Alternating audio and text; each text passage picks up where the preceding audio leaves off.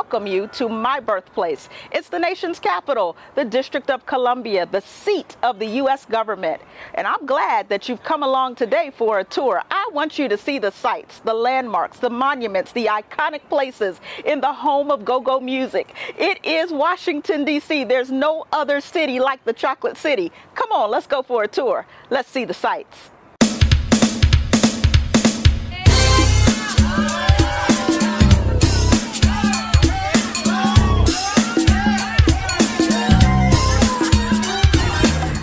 Standing on the National Mall. This is the space between the U.S. Capitol and the Washington Monument. Presidents are inaugurated on the steps of the U.S. Capitol. My family was so blessed to be here when President Barack Obama took his oath of office both times. The first time we stood all the way back by the Washington Monument, but the second time we were blessed to be right on the lawn of the U.S. Capitol. What a blessing it was to see our first African American president inaugurated into office.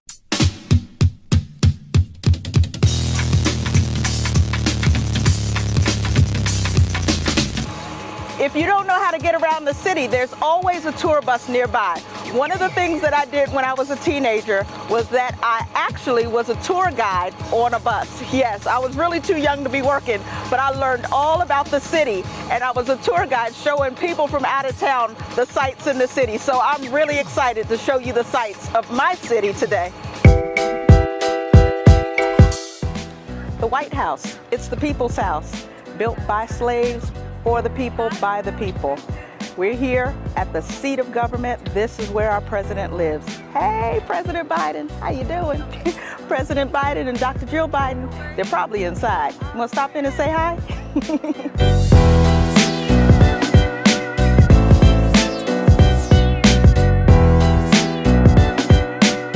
We're at the National Museum of African American History and Culture. This museum was opened in 2016 by President Barack Obama. I remember when this museum was being thought about, and even before it was built, my father talked about it, and he became one of the founding sponsors for it because he believed in African American history so much that he wanted the next generation to be able to enjoy it.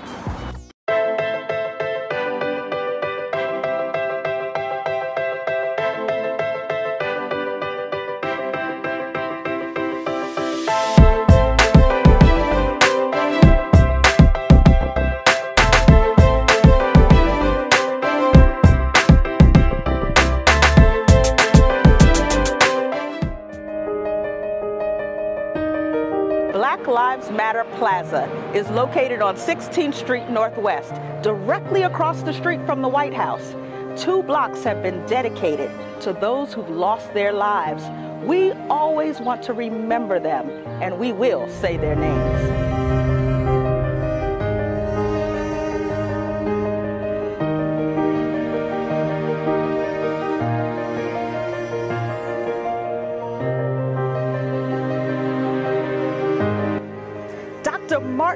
King Jr. Woo, he is here. Yes, his statue is right here in Washington, D.C. Son of Atlanta, civil rights icon, drum major for justice, the pioneer of the modern social justice movement, Dr. Martin Luther King Jr. Nobody like him.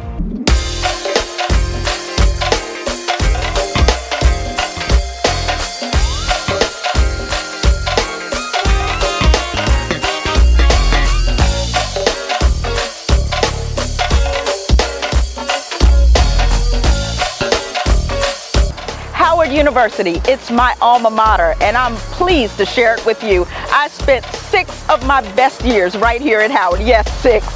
Four as an undergrad, and I came back for a master's degree because I loved it so much. Howard is such a wonderful school and has special significance for my family. Both of my parents graduated from here. In fact, my mother was pregnant with me when she graduated from Howard. So it's in my blood. I had to come to Howard. It's a wonderful HBCU, and I'm so glad to share it with you today. I hope you've enjoyed the tour of my hometown. Washington, D.C. is a wonderful place. If you've never visited, I hope you'll take some time and come and see the sights in the city that is the nation's capital. Good morning, New Birth, and welcome to worship. We're so glad to be here this house of the Lord. God is in his holy temple, and he's right there where you are as well. This is the day that God made for you. He made it for us, and we're going to worship the Lord together. We are here in the sanctuary of the Lord, and where you are, it's the sanctuary too. Come on, let's give God praise in his house. Hallelujah. Glory to our Most High God. This is the day that God has destined for us to have a house party. You know, New Birth's been on a home invasion tour. We've been going from city to city all over the country, showing you where some of our leaders are from. And today it is my joy to show you my hometown, Washington, D.C. I'm Pastor Carla Stokes. I'm the pastor of ministries and outreach right here at New Birth. And I'm so glad to be here in Atlanta today. But wherever you are, it's special and God has a blessing stored up for you. We're going to worship God together. We're going to have a wonderful time of ministry. But listen, when there's a house party, there's always a host. There's somebody who takes care of everything to make sure that everybody has what they need and have a good time. Our host is none other but the Lord of Lords, the King of Kings. He is our God and He's in control. Us to come into His house and ignore Him. Can you help me lift Him up? Father, we give you glory. Father, we give you praise. There's nobody like you. We adore you. We reverence you. We thank you for welcoming us into your house, God. We declare that this is the house of the Lord and that we have made our hearts your home. God, we want you to have your way today. Lord, we declare this is the day of salvation. This is the day of deliverance. This is the day of the great move. This is the day of revelation. This is the day that the message finds a place in the life of somebody who is needing just what our pastor is going to preach. And so, Father, before we go another further, we want to give you all the glory. We want to give you the praise in advance for great results. Thine is the kingdom, the power, and the glory. In Jesus' name,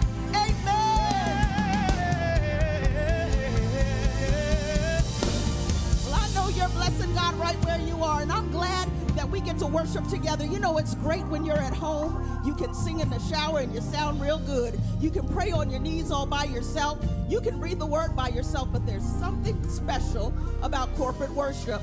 And today, we're all together, and I'm so glad to have standing beside me my sister, not just my sister in Christ, but my biological sister, Elder Marcia Stokes. Would you help us pass the peace? Would be my honor. I tell you, good morning, New Birth. It is such an honor to be in the presence of the Lord this morning. As my little sister, Pastor Carla Stokes said, this is a house party because we're in the house of the Lord. Listen, we're from the DMV, DC, Maryland, and Virginia, and we thought we knew what a house party was because we knew how to turn up when we got to the house. We understand that Chicago, Miami, Los Angeles, Detroit, they all had house parties too. But when you got got to a house party, you know what you had to do? You had to check out and see who was there. You had to do some shout outs. You had to talk about what neighborhood you were from. And so this is what we want to do during Pass the Peace. We want you to chat and shout out somebody who's watching with you. We want you to go into the chat and shout out where you're watching from. We want you to get to know the people who are in the chat with you. Why? Because we're at a house party. And since we're at the house party, we might as well do it it because this is the day that the Lord has made. Come on, hey. let's pass the peace.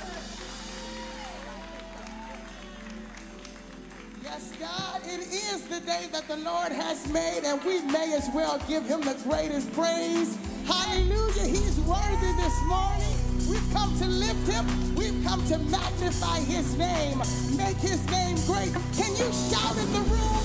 Can you shout at home, in the kitchen, in the bedroom? Come on, let's give it to him this morning. Yes, Lord.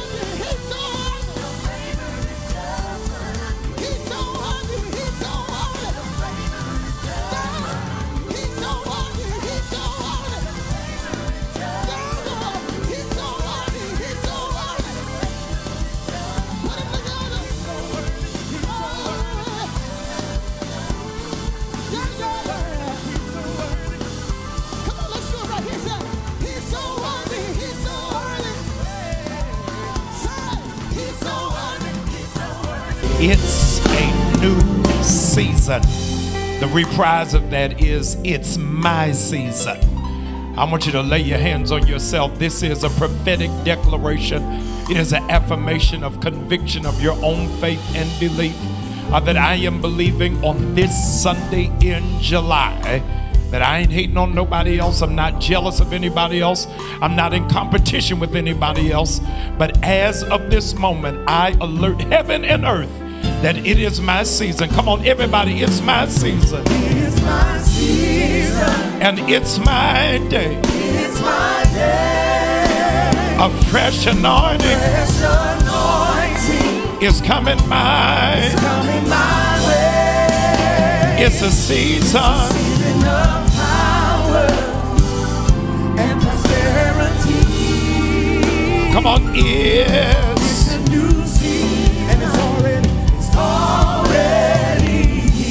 Here's an amazing thing. We just uh, started uh, in the middle of a pandemic. We opened up here on our campus the Garden of Eden.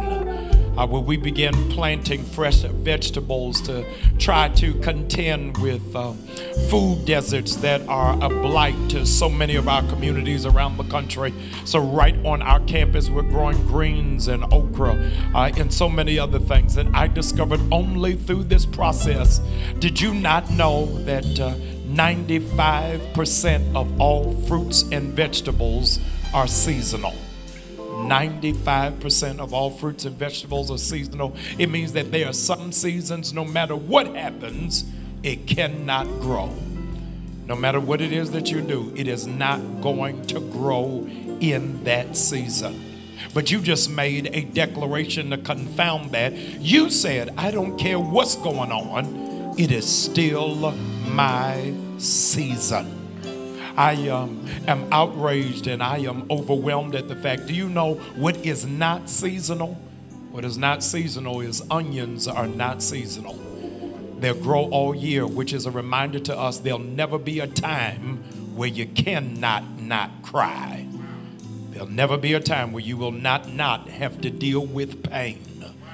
Onions are always in season. Amazingly, you don't even realize that the fruit that is always in season is never recognized for being what it is. That fruit that is always in season is tomatoes. I know that many of you thought it was a vegetable, but it is a fruit. And you ought know, hear this, that anything that has a seed in it is a fruit. Uh, many of you do not have the fruit of the Spirit because you never plant a seed. Amazingly, my dear friends, I need you to uh, be abreast and apprised of that, uh, of what it is that uh, is always in season is bananas.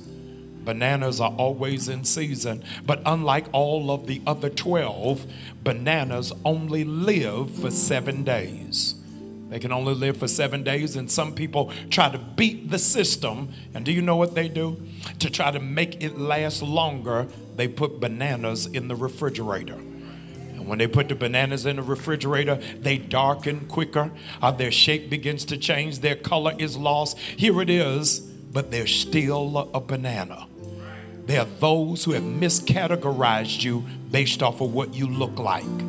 They have put you in environments and situations that are not normal to who you are, and still the essence of your existence has not been contaminated with.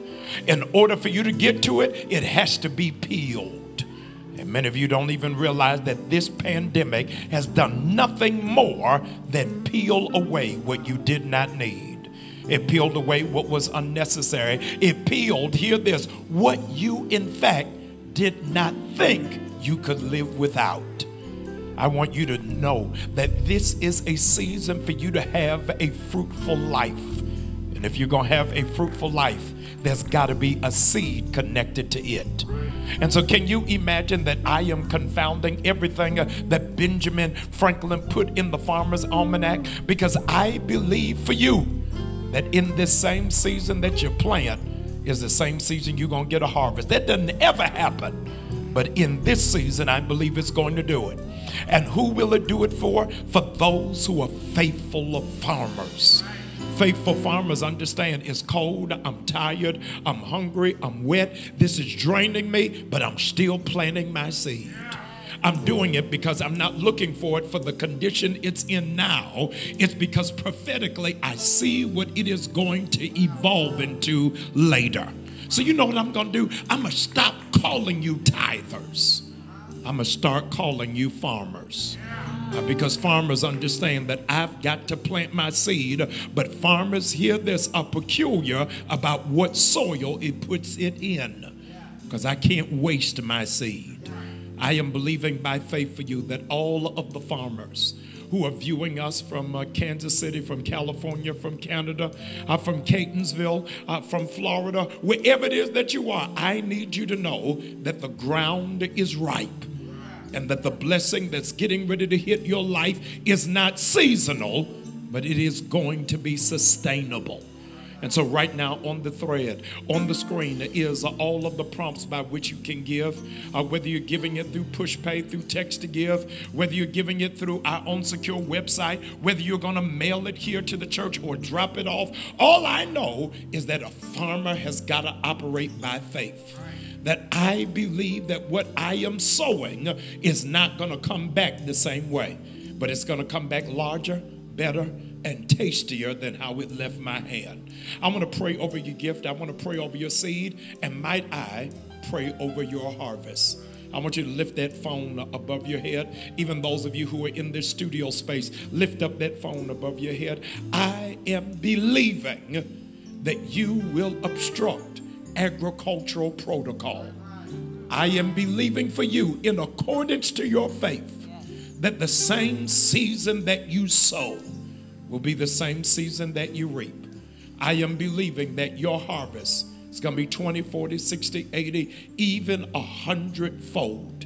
I bless you and I believe for you that there will not be room enough to receive because that's the kind of God we serve. Those of you who are anticipating and expecting a harvest, would you clap your hands in expectation of what it is that I am believing that God is going to do? I, uh, I, I, I for the past couple of weeks, have been circumnavigating around this series about uh, timing and time management and making sure that you are the best steward of your time. And I want to make sure that we maximize what it is that God has given us. Uh, one of the blessings that God has entrusted to New Birth uh, is giving us an amazing timekeeper in Pastor Carla Stokes. Uh, she has uh, been absolutely operating in militaristic precision and understanding that the kingdom of God is at hand. And so, a lot of what it is that takes place uh, out in the community and around the world, you may not know it, but the fingerprints of Carla Stokes are hit steadily around it. And so, we appreciate her. I not only appreciate her, but her incredible sister uh, who's been serving alongside her in ministry. Come on, let's give God some praise. Uh, those of you who are viewing, uh, you uh, over the last two and a half years have come to know me as the pastor. Uh, but historians will have to put in the annals of time uh, that the first woman pastor of New Birth was Pastor Carla Stokes. Uh, and she navigated this ministry. She navigated this ministry with a shepherd's heart and did what was needed and necessary to keep us afloat. I would not be standing if the grace of God was not on her life to pray us through and to move us into this moment and into this season. I'm telling you, it may be your time now, but don't forget the people who took time for you to be in the position that you're in whoever it is that made a sacrifice for you, I want you to celebrate them. I want you to give God praise for them. I want you to appreciate them on today because here's what I found out tomorrow is not promise. And so while it is that you still have time, don't just thank God for your time, but thank God for the time of those who went before you and prepare the way for whose time is coming behind you. I'm excited for what God has entrusted to me to give to you. So here's what I need you to do I want you to tag somebody, text somebody, tell somebody. I wouldn't waste your time. You gotta go log on to New Birth right now. There's a word the Lord has given to the pastor that you need to hear, not just you but your family needs to hear it. Our marvelous music ministry here at New Birth are going to prepare the atmosphere, and then we're going to hear what God has to say about your time.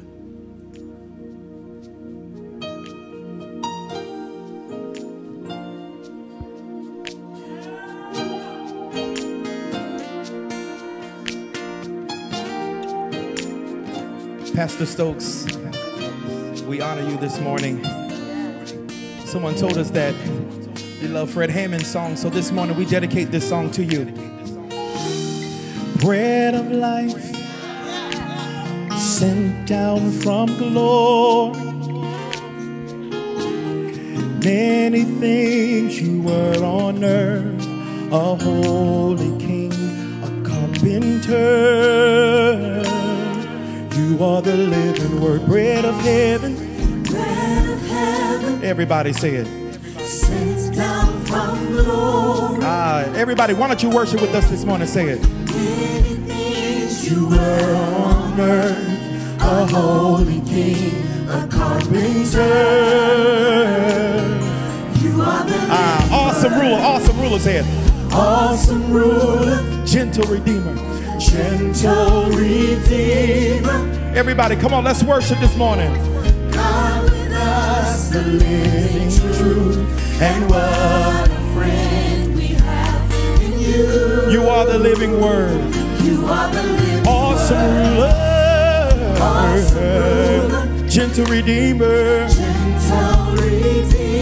God with us. Come on, everybody, raise it. Say it. God with us, the living truth, and what a friend we have in you. Jesus, Jesus. Come on, say it.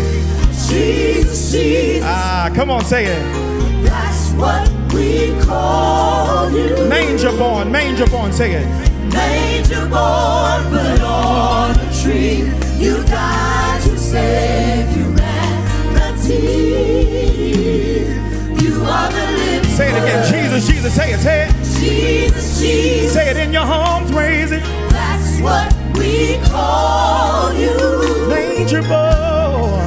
Manger but on a tree. You You died. died to save Humanity. humanity. You are. Come on. are it up. Jesus, Jesus. Everybody say it. Say it. Say it. That's what we call you.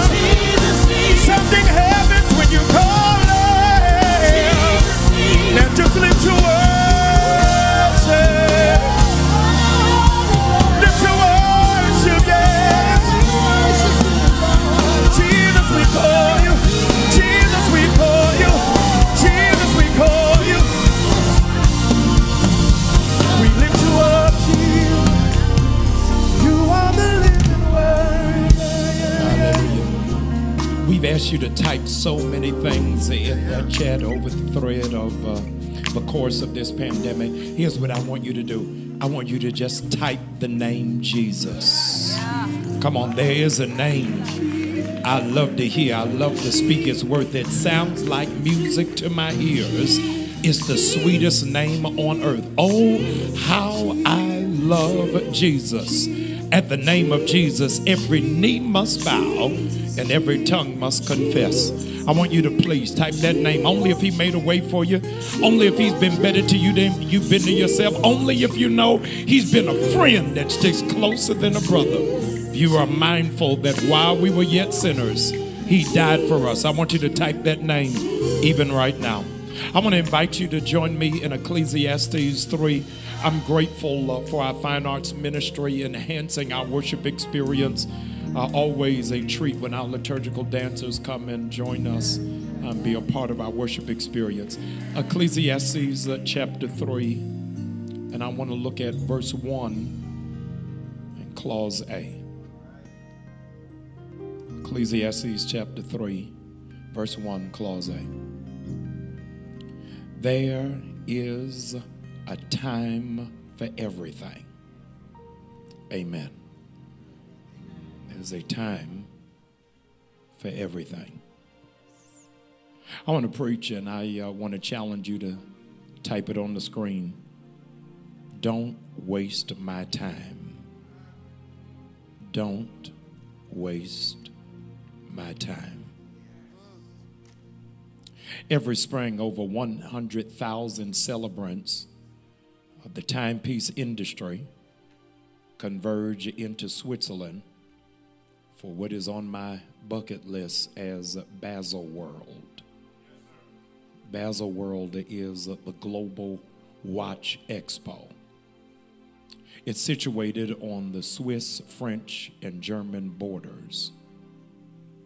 On display are the newest trends in fashionability from Rolex to breakthroughs in multifunctional operational watches.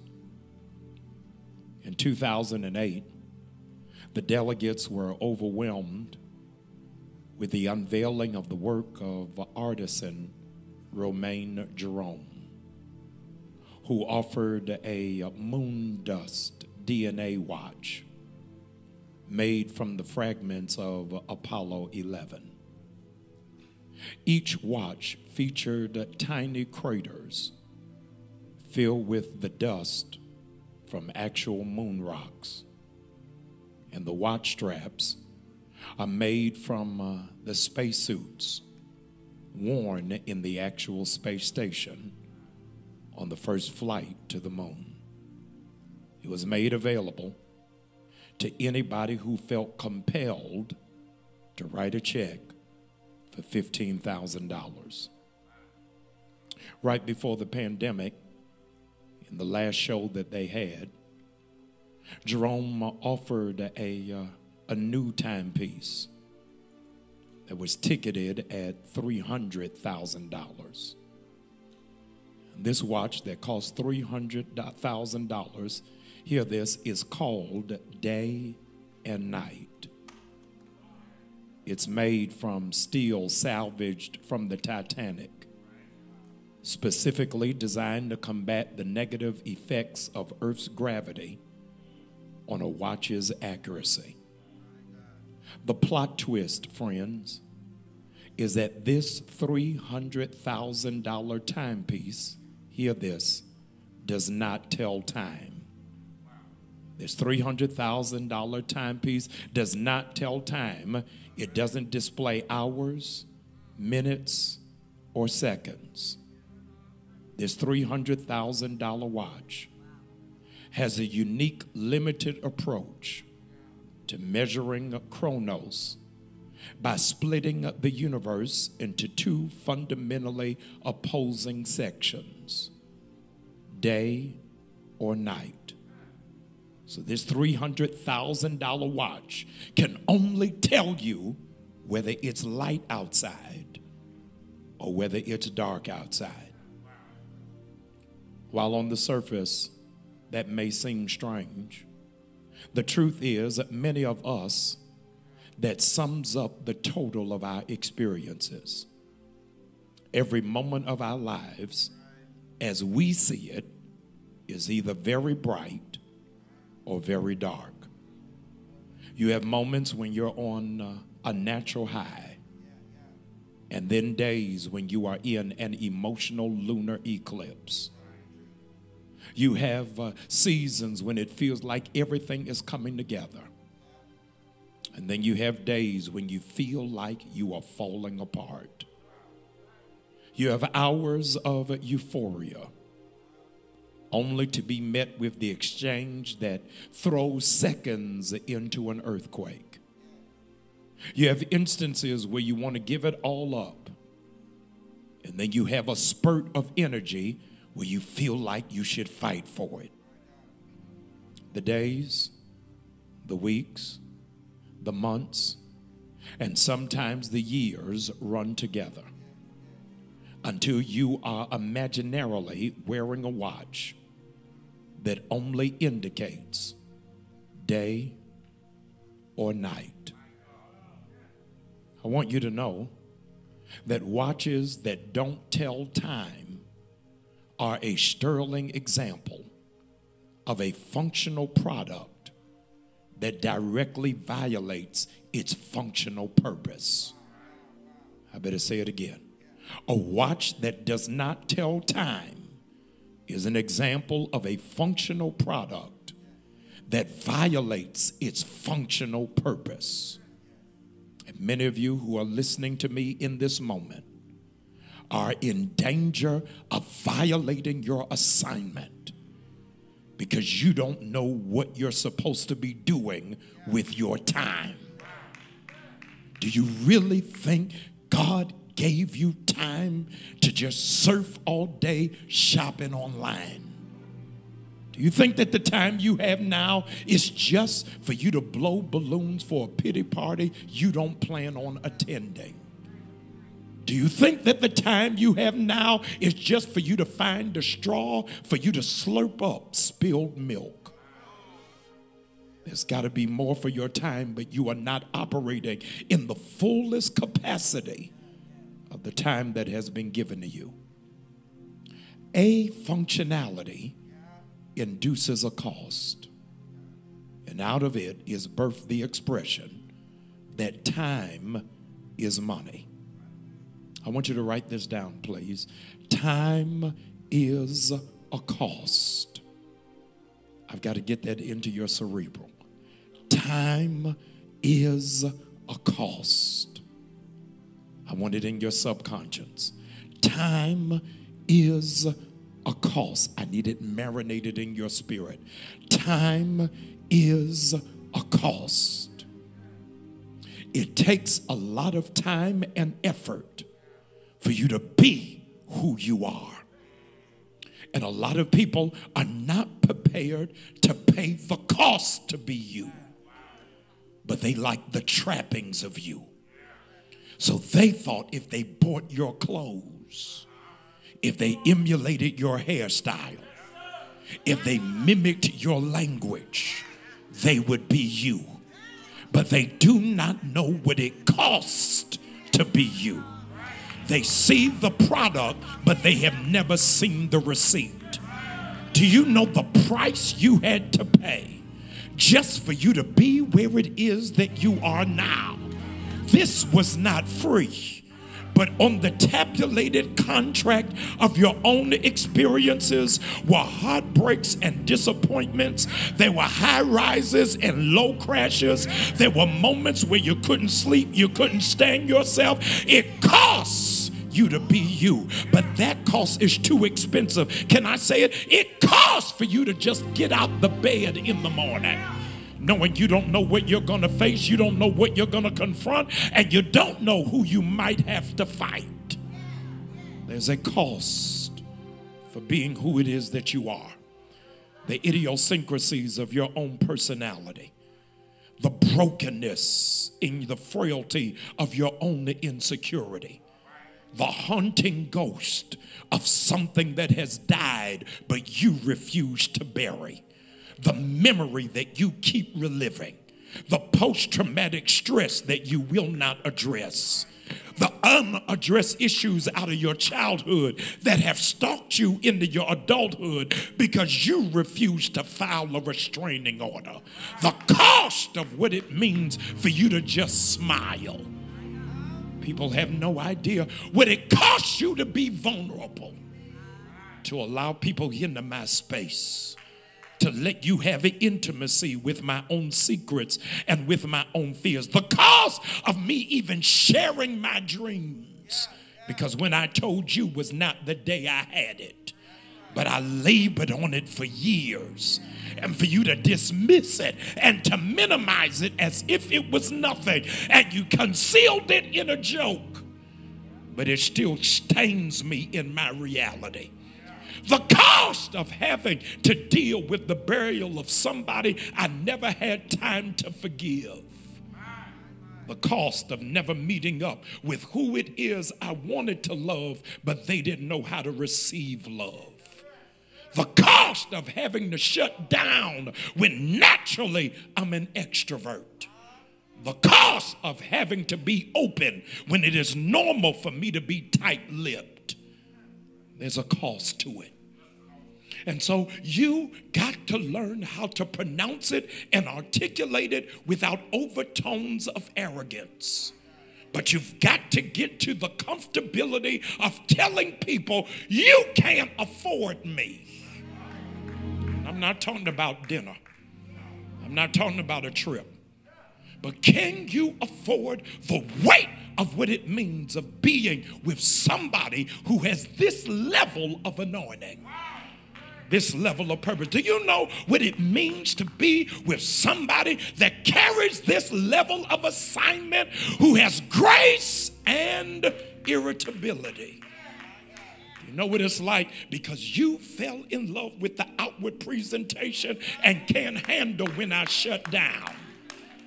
Can you handle the price that people who don't know you will love you more than the people who do? Can you handle the cost that comes with your grace that people who don't know you hate you and can't make up a reason? There are costs affixed not just to your testimony, not just to your assignment, but to your dedication. Having a six pack of abs requires putting in time for sit ups, means saying no to ice cream in the Starbucks. Everybody wants them, but nobody wants the discipline or the time that is connected to it. The cost of success uh, blocks people from adopting success. So people are comfortable being miserable. Most people don't have the money to buy a Rolls Royce. They don't have the dedication to renounce carbs or the time necessary in prayer to be consecrated. Yet Yvan Arpa, the CEO of the company that produces that watch that costs $300, said this uh, uh, Those who are willing to pay the price of $300,000 for a watch that doesn't tell time is a discerning customer. Hear this who knows what time already is.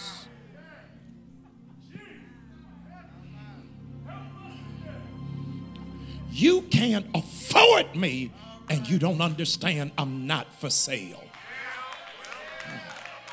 So if I've got to tell you what my value is, if I got to tell you what my worth is, if I've got to tell you what my value is, then you are not in the market for my company. In 1978, a marketing company went to the headquarters of Rolls Royce and gave them a pitch on what it is that their commercials should look like. The CEO of Rolls Royce said, We are not interested. And the representative from the marketing agency said, You haven't even seen the commercial yet. And the CEO retorted back, I don't need to see the commercial. People who are in market for Rolls Royce don't watch TV. When you know what you are, only five of y'all gonna get it. When you know what you are and what you represent, you don't have to advertise. What you are called for, and two will start seeking you out. And I declare and decree over somebody who is watching me right now do not get frustrated because you feel looked over and ignored. That's because those who looked over you are in the market for a Hyundai but for what you carry. God is going to have people find your gift, find your talent, and find your skill set because you do not have to beg or plead to be acknowledged or to be seen, but you understand what God has for me. It is for me. Don't shout if you got a Hyundai anointing, but if you know there's a Rolls Royce gifting that is trapped inside of you, you ought to thank God for a discriminating taste that is coming. Do you know what time it is in your life? In Ecclesiastes chapter 3, it says there's a season for everything. When Job was going through his own personal holocaust, his friends raised a congressional hearing and they suggested that this was God's punishment. And that's why he was losing everything. Job had the insight to respond that the same God who blesses huh, can also chastise. I want to say to you, please hear me well. And I know this is not for everybody, but I want to know, want you to know I'm talking to you. This is your season, not for stuff to be taken away. You've already outlived that season. This is the season that everything that was taken away is about to be restored. Everything that you have lost, God is getting ready to hitch it back to your life. This ain't your season for taking L's. This is your season of being more than a conqueror. Paul cried out to the Lord three times because there was a thorn in his flesh. I couldn't understand it, but um, Bishop Brandon Porter out of Memphis, Tennessee, uh, said something that I want to co opt. Here's what Bishop Porter said He says that the thorn had to be from God because the thorn had a point.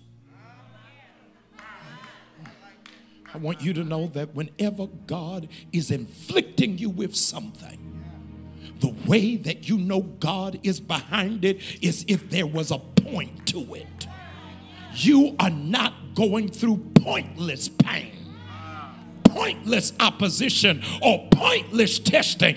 Everything that you're going through, hear this if Paul had not gone through pain, he would have never been introduced to grace. He needed the thorn just so that grace could have a stage. He needed a thorn just so grace could get an introduction in the cycle of ecology. Everything, um, everything is, um, is necessary so that nature will know timing. Timing is not just a human enterprise, it is a global mechanism. So even the earth has got to know timing. You needed fall just as a reminder that people will change.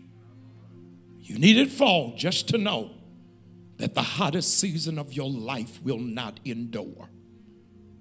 You needed winter so that you would, in fact, be reminded that the unnecessary always dies. You needed spring so that you could have a picture of knowing that whatever you planted will come into full bloom. You needed summer so you could finally find a season where you enjoy what you worked for. Many of you are blowing your summer because you never give yourself time to enjoy what you've worked for. You are so busy being in a winter mind frame that you don't give yourself permission to disconnect. You don't allow yourself the elasticity to realize I don't need this phone 24 hours. Can't be responsible for all of these emails. There's got to be a season where I can do for myself. God says, I want you in this summer to take a season of selfishness all year long, you do for others. What are you doing for yourself? The time you are in has an assignment. The time you are in has an assignment. And I can't afford for you to miss the importance of it. Every time you are in is not hapless, every time is purposeful. So the time that you were sick may have been the time that God could get you to sit still. The time you were in poverty was the time that God needed to make you more creative. The time you were in loneliness was so that you could discover how you could celebrate yourself.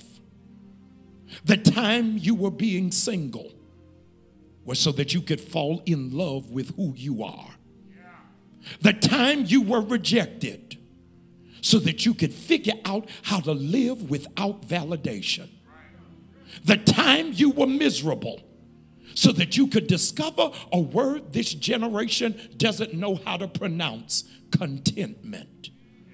The time you were unemployed was so that you could find time to birth entrepreneurship.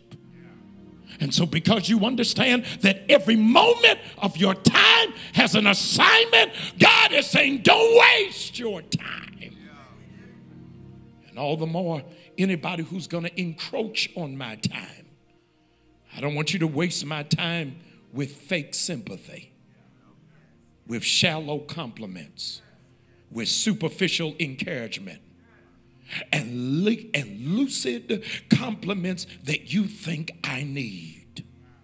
Sometimes when I don't see it, it means I don't need it. God needed me to go through a pandemic so I could get spiritual principles. What, what, what, did you say? It took a pandemic for you to put a mask on your mouth. It took 16 months for you to guard your words. It took a pandemic for you to practice social distancing to get you away from people he never wanted you close to. It took a pandemic for you to continuously learn how to wash your hands because he didn't want under your fingernails the residue of what you had to crawl out of. It took a pandemic for you to see that your job never saw you as essential. It took a pandemic for you to learn the people you actually live with. The time is getting ready to change. The time is getting ready to change, and you're, you're getting ready to shift from victim to victor. The time is getting ready to change where um, you're going from sowing to reaping. The time is getting ready to change where you're moving from survivor to more than a conqueror. The time is getting ready to change where you no longer get weary in well doing. The time is now coming where you've got to ask yourself, who will believe the report of the Lord? Have you been with us in this entire service? I am. Um, I shared with you when I greeted you the beginning of worship that um, all fruits are not seasonal. That bananas will change their texture but not change who they are based off of where they are. I told you that no matter what the time is, doesn't matter whether I'm in Argentina or Chicago, onions are always in season. But I, I wanted to. Um, to lay my anchor on uh, one last uh, fruit that is seasonless. And that fruit that is seasonless warrants my attention when I was reading Ecclesiastes chapter 3. And that, uh, that fruit is, uh, is an apple. And I'm trying to figure out um, because there are some theologians and historians and anthropologists and agricultural scientists who suggest that in the Garden of Eden, it wasn't even an apple that Eve had, but it was a pomegranate. And those who would argue that don't even understand that pomegranates are just another form of an apple. Um, The apple is strange um, because nobody ever thinks about the timing of an apple. Is that it is sown into dirt. And while it is that it is sown into dirt, it can't even grow until what it is attached to grows. And so the apple can't grow if it is connected to a dying tree. Many of you don't even understand that there was nothing wrong with you, it was just something wrong with what you were connected to. Let me go a step further. Maybe it was who you were connected to. Did you ever think about the timing of God when it comes to an apple? That it goes out on that limb. And when it goes out on that limb, here it is, it doesn't have much of a support system. It just hangs there. It hangs there while it's getting heavy. Many of you are hanging on by a thin thread, and you don't even know how you are still up when you thought you should have fallen by now. There was something about the timing of God that would let you fall even though you looked ripe. Because what apples would testify to you who are watching is you are not fully ready and developed until you fall. And most of you who are outside of the animal kingdom, you think your living is being attached. And you don't even understand. You ain't ripe until you fall off of what you grew to be connected to. And I want to bring that apple in for a testimony because my time is up and I don't want your time to be wasted. My grandparents of sainted memory Bishop Harrison James Bryant, Mother Edith Holland Bryant, living in Baltimore. Behind their house was uh, acres of uh, apple orchids. And uh, we used to go there often, and um, invariably, my grandmother always had a dish that had apples in it. Didn't even make sense. She's putting stewed apples in oatmeal, putting apples in pancakes. We would have apples with catfish because she had apples in everything. My sister, who's the earthy one of our group, um, contested as a protest of one. Why are we always eating these apples? It didn't matter that we had orchids of them. Didn't matter that they were in short supply.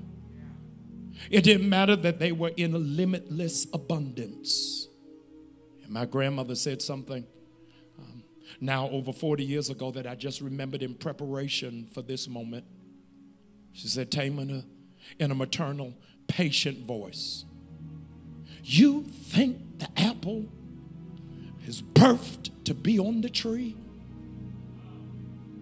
Do you think the apple was created to just be on the ground? The apple was created to be consumed my grandmother said, what I've got to say to somebody who is watching. Have you ever thought in your entire life you were born to be consumed? That you were created to be cut up.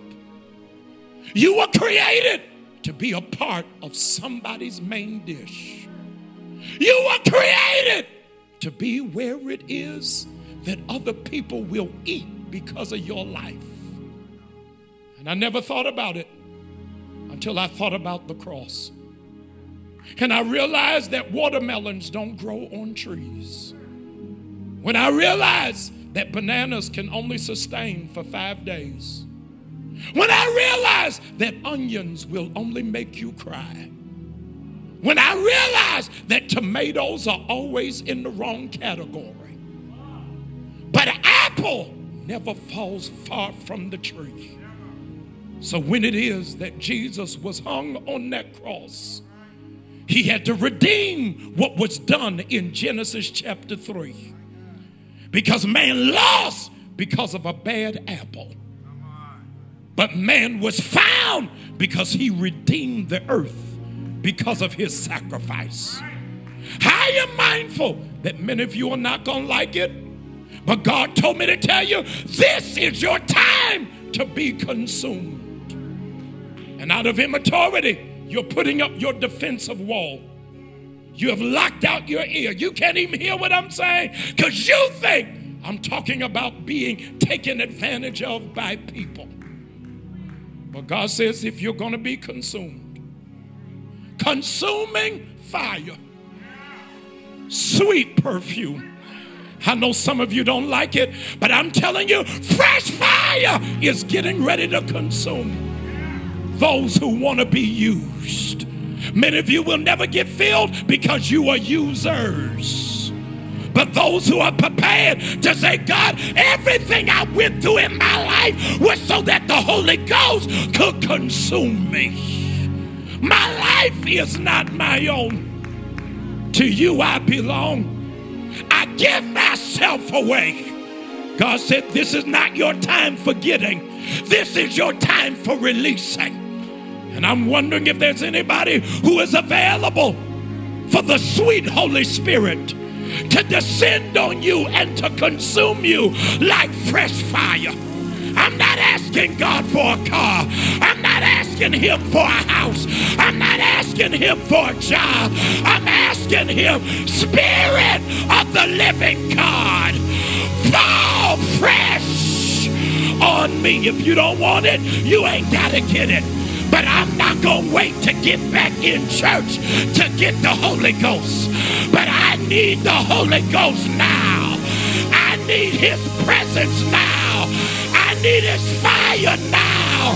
I need His passion now. If you are prepared to be consumed, I need you to lift up that hand. It's getting ready to fall in your living room. It's getting ready to fall in your bedroom. It's getting ready to fall in your kitchen. Where would I be if he didn't love me? Where did I be if he didn't care? Where would I be if he didn't sacrifice his life? But I'm so glad. Hey, I'm so glad he did. I need you to open up that mouth. You get ready to be consumed. Hey, I said you get ready to be consumed. I speak baptism by fire. That some of you in this moment are going to have the evidence of speaking in tongues. I need you to open up your mouth. I need you to cry out unto God. Your prayer language is about to kick in. You are about to have a Garden of Gethsemane moment. Lord, not my will, but your will be done. I need thee every hour. I need thee. Bless me, Lord. Bless me, Lord. Bless me, Lord. Any way you bless me, I will be satisfied. Hey, I need that hand lifted. Oh my God. I feel glory here. I feel his glory here. I feel his presence here. Come on, cry out. Come on, cry out.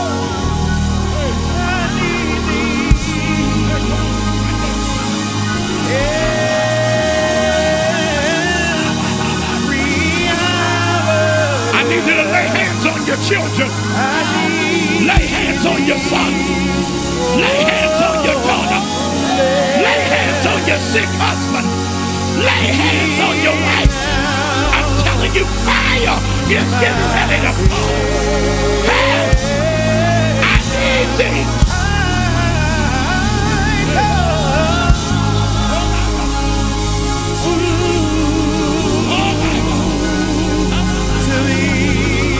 Without any music, let me just hear the sound of worshipers. Come on, cry out unto him. I want to be consumed. We worship Hey. I want to be consumed. glory. Wanna be consumed. I want to be Wanna consumed. be consumed. Take me back to where I first believed. I want to be consumed. Wanna be consumed. Take me back to consuming fire. Sweet perfume. Your awesome presence fills this I speak the fire of the Holy Ghost consuming you in this moment. Holy ground. Come on, that's what I'm looking for. Come on. Glorious voice activated. Holy ground. I said the glorious voice activated. This is holy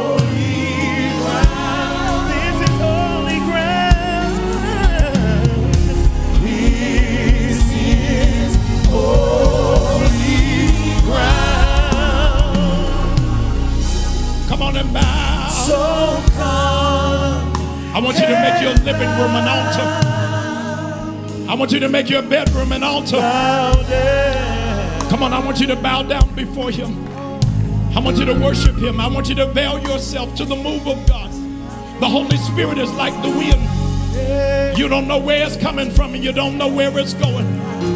But I need Him to fill me afresh and anew. The pandemic took something out of me. The last 16 months have been one of the worst of my life. But God, I'm sick of just holding on. If I'm going to fall, let me fall into your will. Wanna be more like you, This is the time for the indwelling of the Holy Ghost. This is the time for the move of the Spirit. This is the time of the evidence of the gifts of the Spirit. I'm sick of the church only praying for material stuff. Who wants the grace of God? Who, who wants the fruit of the Spirit? God said this is the time for you to step out on spiritual giftings. I want you to lift up that hand. In the spirit realm, I'm in the spirit realm, I am anointing you afresh and anew. That whatever you lay hands on, Hamasha, whatever you lay hands on, the gift of God is going to give evidence. I wish I had worshipers in this room with me. I said, whatever you lay hands on, God is going to give you tangible, definable evidence. I want you to open up your mouth and just give God a barak. I need you to give him the sound of a worship. Whatever you speak, I said, whatever you speak, feel revival breaking out. Whatever you speak, it is about to come to pass. This is the hour to be consumed. Come on, this is. This is holy ground. Come on, wave that hand. Walk around your house anointed. Lay hands on every door. Lay hands on your bedroom. Lay hands on your refrigerator. This is holy ground.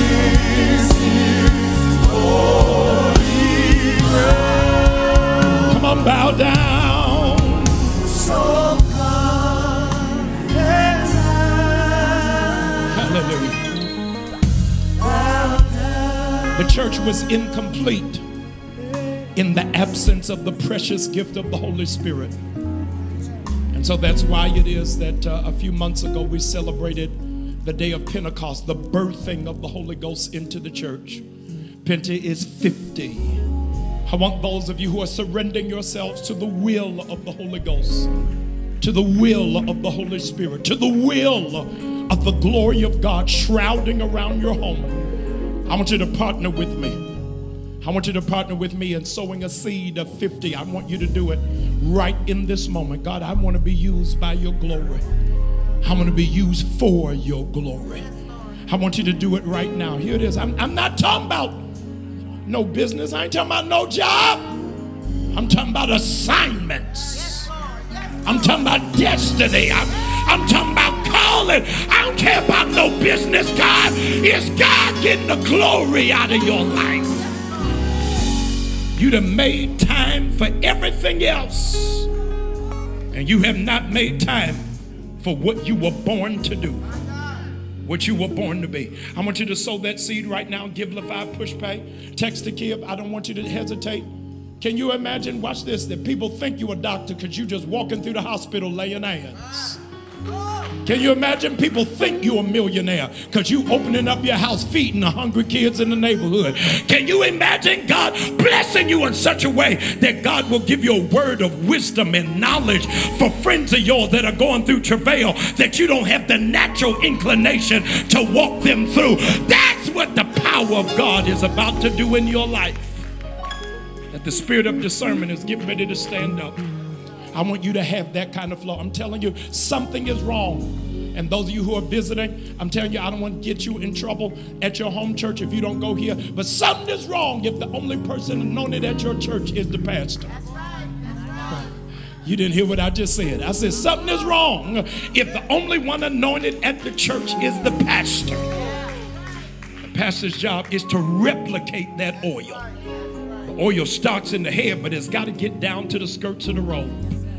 It is vain glory and idolatry.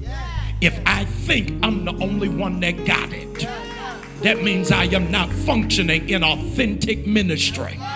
But every time I turn around, there ought to be somebody who is rising up from the shadows that says, I got that same level of anointing. I'm believing that that's what God's getting ready to do for you. He's getting ready to do for your life. Those of you who um, realize that it's time for you to be a part of a ministry that believes in the Holy Ghost. Need to be in a ministry that has the evidence of the Holy Spirit.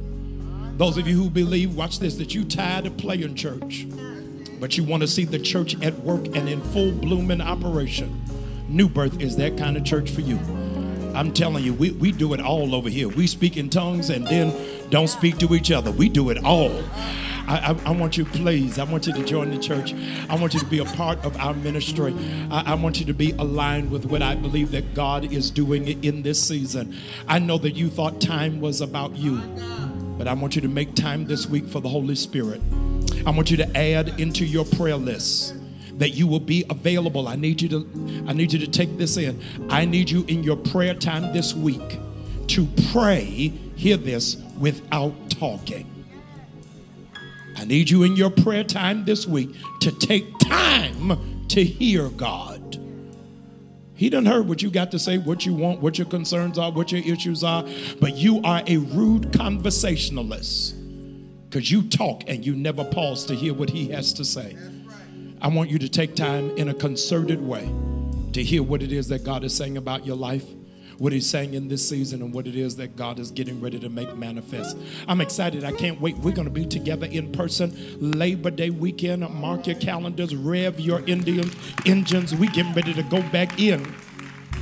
But until such a time, I'm going to be where I am, and I hope you'll be right where you are.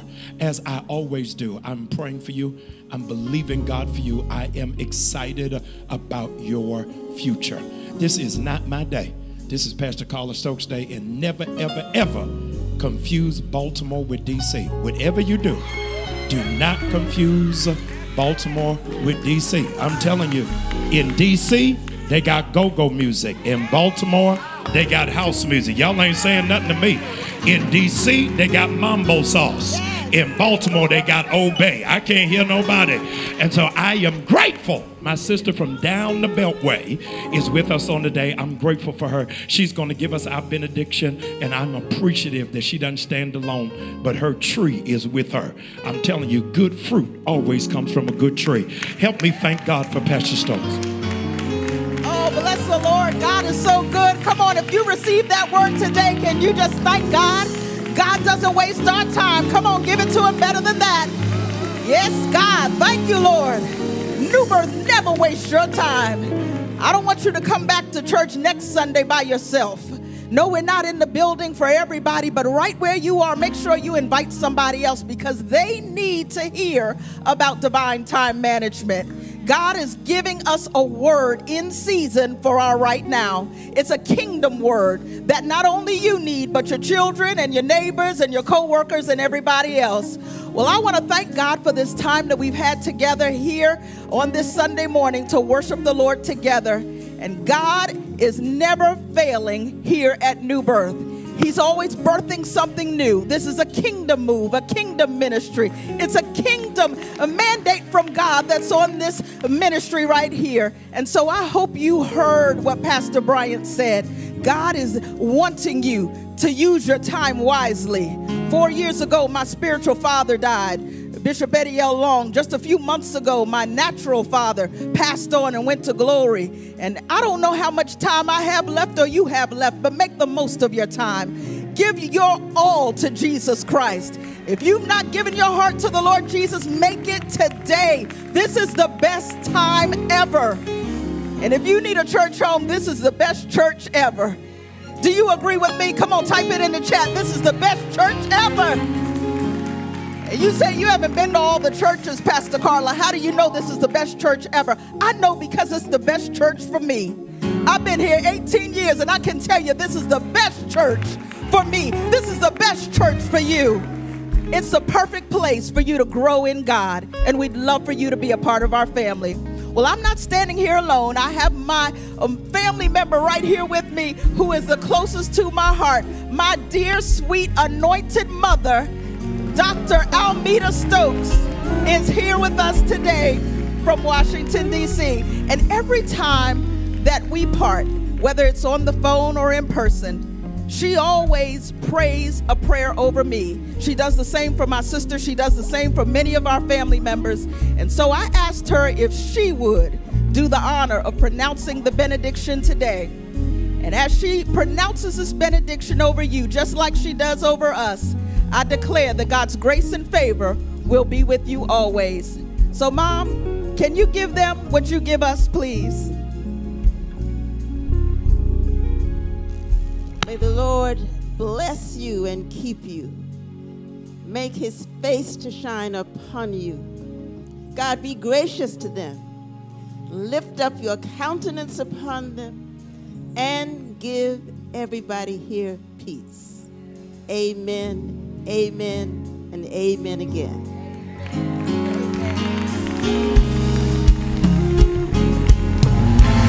To God be the glory. To God be the glory. To God be the glory for the things that He has done. Hallelujah. Hallelujah. Hallelujah. Hallelujah. To you alone be glory, honor,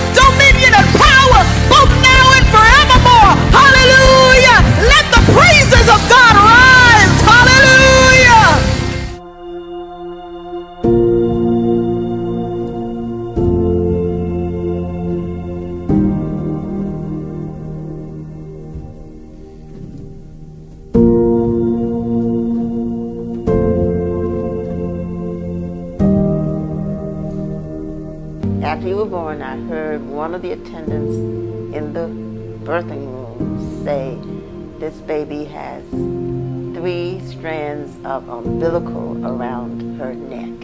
She is really, really smart. She's been smart since she was a little girl to the point where she only went to private schools and she excelled so well in her studies that they tried to skip her a few times.